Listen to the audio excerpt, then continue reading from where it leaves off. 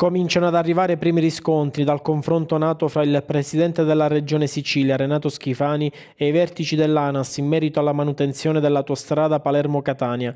Sono contento che l'ingegnere Isi, ha detto Schifani, evidenzi nella sua nota la piena consapevolezza della necessità di imprimere una significativa accelerazione alle attività di ammodernamento e messa in sicurezza dell'A19 ed un nuovo modus operandi volto a contemperare il più celere sviluppo dei lavori. L'amministratore delegato ISI ha comunicato a Schifani l'avvio di un piano complessivo di ammodernamento dell'autostrada, con investimenti per oltre un miliardo di euro per la riqualificazione e messa in sicurezza.